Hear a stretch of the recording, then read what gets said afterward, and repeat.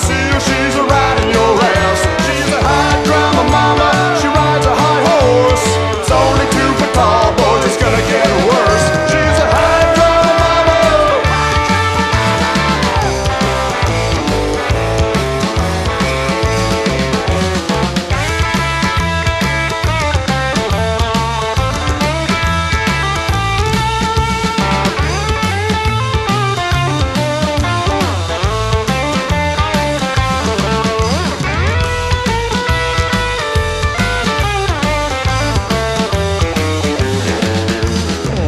girl to the 50s car show.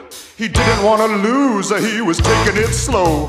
Little did he know that when she drinks, she fights. She screams like thunder, kept us up all night.